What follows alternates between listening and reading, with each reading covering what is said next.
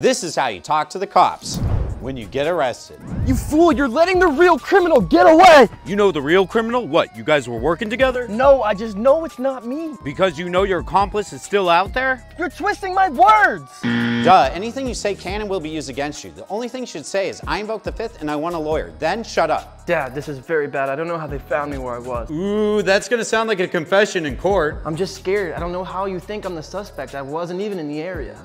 Haven't you learned it doesn't matter what you mean, it matters what you say, and a phone call in jail will likely be recorded unless it's to your lawyer. Look, at this point, you should just confess. Yeah, if you admit guilt, we'll get you out of here sooner. Fine, whatever. I just just want to go home.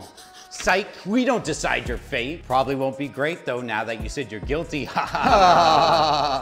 the love of God, do not do anything without speaking to a lawyer first.